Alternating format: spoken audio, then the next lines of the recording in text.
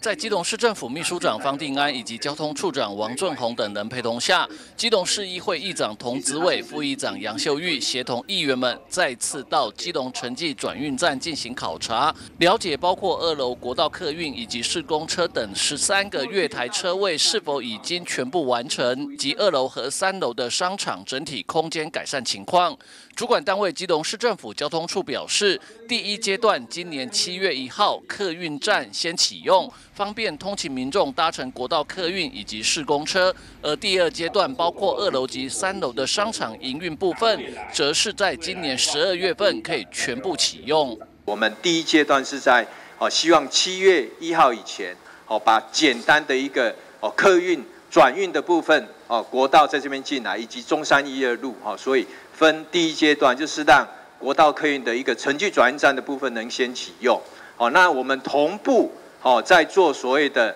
包括楼下的一楼以及二楼的一部分，以及三楼这些商业设施，好的一个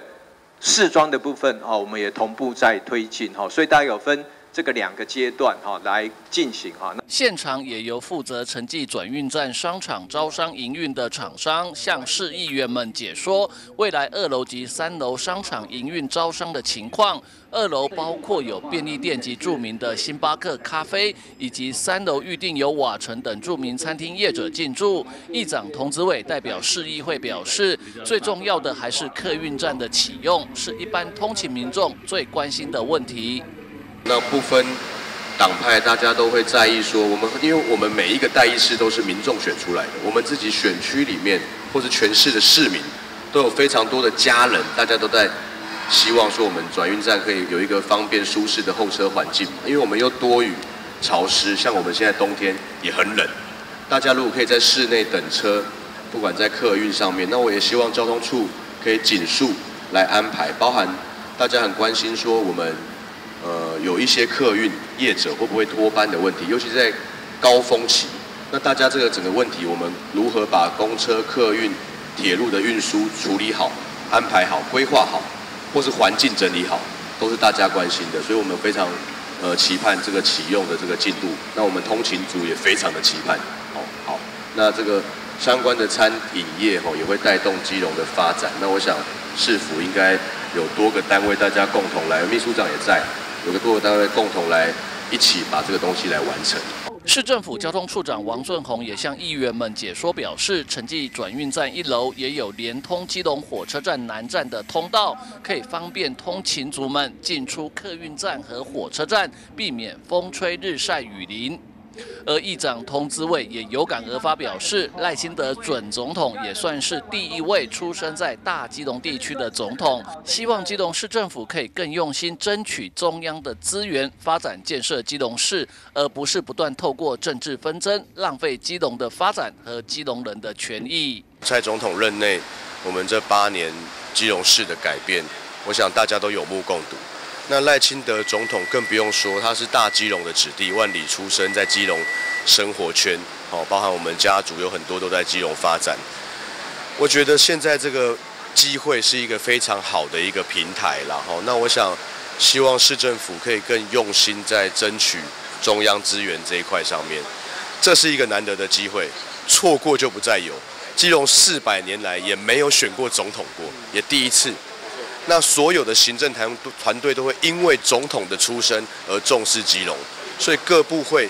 一定都会有非常多的资源可以给予基隆。但是我这个东西有需要计划型的补助，还是相关的预算，都希望需都需要市政府来拟定计划，来做一个完整愿景的发展。这是一个很好的机会，我不希望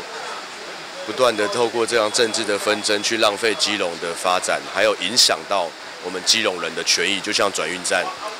或者是我们后续的招商，我们都希望可以顺利。我还是希望，我用议长的身份或高度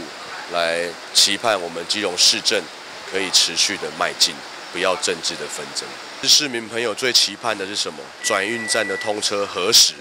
我们有多少广大十万，甚至超过十万的通勤族？他们大家一定会一个疑问：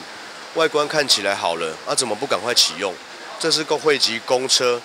客运、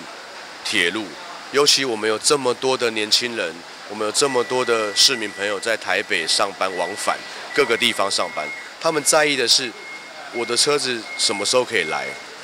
我的车子会不会准时可以让我上班，我可不可以多睡一点？这是一个整个经济环境发展的问题。我们在卫，我们属于卫星城市，在双北中间、双北旁边，我们就会面临到整个通勤的问题。所以市政府还是市议会，大家应该共同关心的是启用的进度、安全的问题，何时可以让大家更方便的往返在基隆之间、台北之间，不管早上还是下班。那我们市政府应该更关心我们周边的环境。譬如说，有没有分有没有考虑到临计程车临停？如果你是一个外地的旅客到基隆，这是第一个印象。如果你是一个当地人，你最在意的是我什么时候可以不用刮风日晒雨淋来搭车？这才是我们现在真正要关心的一个议题。记者吴俊松，基隆报道。